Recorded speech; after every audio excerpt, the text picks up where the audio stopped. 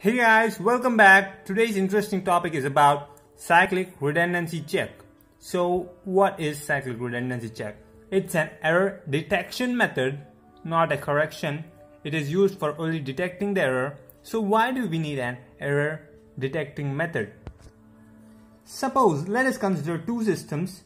Over here it is TX and over here it's RX. TX transmitter, RX receiver. So transmitter sends the data to RX and TX sends the data, let's say AB, but RX receives the data AC. What happened here is the data is being corrupted and an error has occurred at receiver. But the receiver doesn't know that the data received is correct or not. How good? How about receiver checks its own data? So we are introducing a, this error detection method CRC. It's very fast and it's good for error detection. So CRC can detect odd errors, so single bit errors and the burst errors. So it can detect these three types of errors odd, single and burst. Okay, let's say suppose that TX sends a message data to an RX but sim simply sending the message alone will not give a detection method. So we will add a bit called CRC bit. So CRC bit will be checked at the RX so how does the RX check? The RX will do calculations on message and generate its own CRC value. Let's say CRC1 so then it will compare the CRC1 and the received CRC value. If both are equal, then it finds out that my data is perfectly fine, no problem with it, and it's wrong, then it finds it's wrong. As you can see that we are adding an n-bit CRC extra with the m bit of data. So Rx will receive m bit of data and n bit of CRC. So how are we going to calculate CRC? That's the most important thing. So CRC is a polynomial. So we are going to do polynomial division on our data. Then we will add the CRC bit to our data and send it to the receiver. So the CRC polynomial will be uh, worked upon the message data and will calculate the CRC bit and will be appended at the end and then send the data. So polynomial has certain rules. The polynomial should not be divisible by x and x plus 1. Let us consider a small polynomial like this x plus x power 4 plus x cubed plus 1. So this polynomial is not divisible by x or x plus 1. So CRC polynomial should be such like this.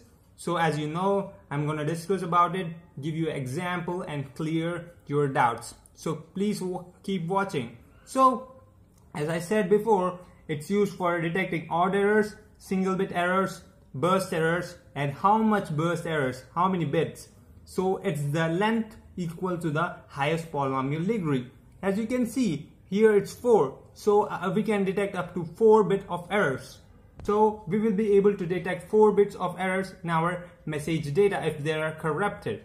Okay, now let's, I'm gonna draw an example and explain CRC how it's calculated and how the polynomial division is done. Okay. So suppose we want to send this data word to the receiver. So we are going to calculate the CRC for this one using a polynomial which this is the polynomial for which I'm going to calculate the CRC. Using this polynomial I'm going to calculate the CRC for this one. Okay. So before calculating we need to convert this polynomial into a binary form. So how are we going to convert this uh, polynomial into a binary form? I hope the polynomial above can be written like this.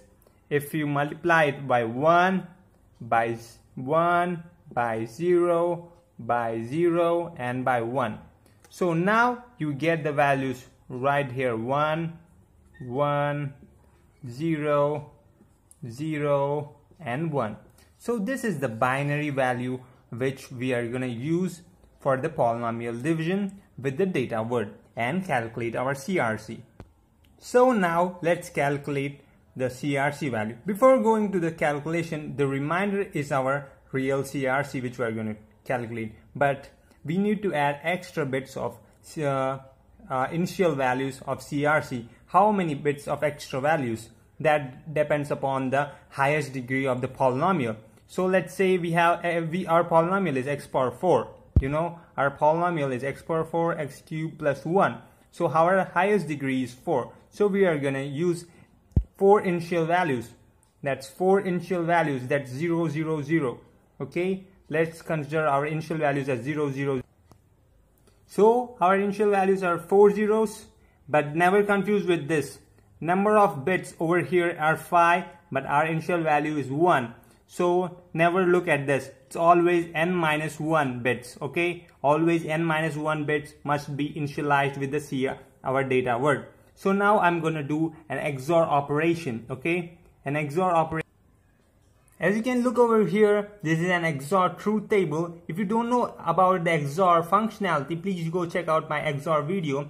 But you need to here you need to know about the XOR that whenever the values are unequal, it will give an 1. So it is an inequality detector. So now let's go back to our uh, polynomial division.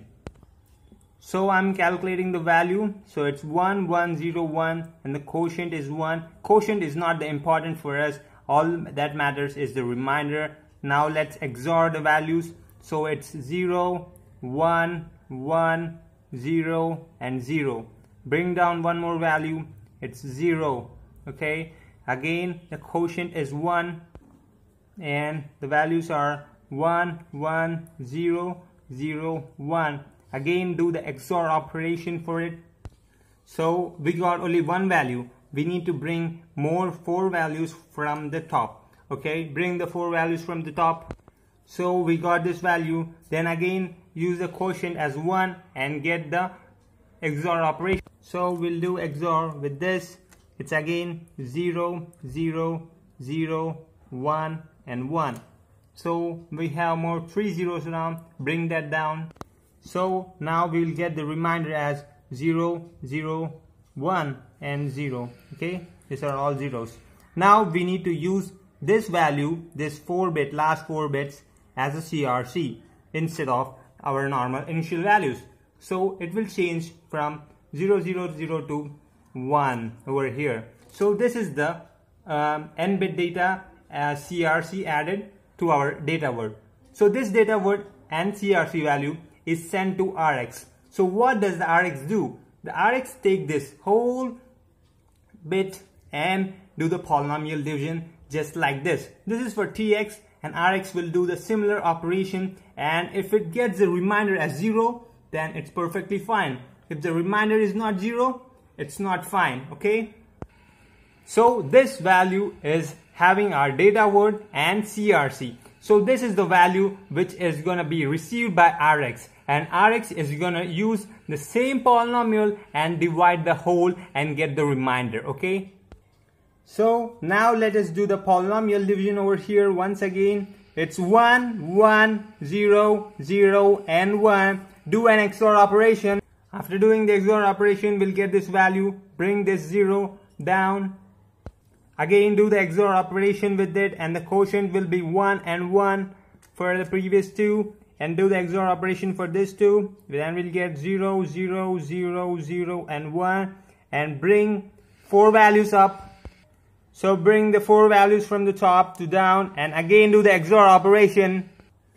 So again doing the XOR operation we get 0, 0, 0, 1, 1 and bring the values of up that is 0, 0, 1 over here 0, 0, 1. Okay again use the quotient as 1 and take the reminder from this we'll get the reminder 1, 0, 0, 1. So what's the remainder? 0, 0, 0, 0. Our data is perfectly fine. The CRC has calculated perfectly. So this is what happens. This is what happens in CRC. So this is what happens in CRC. If you like this video, if you have any doubts, and uh, don't forget to solve this simple question in your examination because everyone knows how to do a CRC. I hope you like this division. And if you like this content, please like, share or subscribe because it will be helpful for me to create more informative videos for you. Thanks for watching. If you like, please do subscribe. I want you to be the power of my growth and let's grow together. I will explain your doubts in comments. If you comment down below, I will answer within 24 hours. Thanks for watching. Hope you have a great day.